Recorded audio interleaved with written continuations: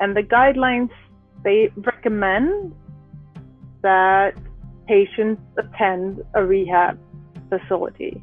My doctor have always agreed with me that I'm not well enough. It's geared towards those who are pretty mild and who can walk a little, who can socialize every day without collapsing.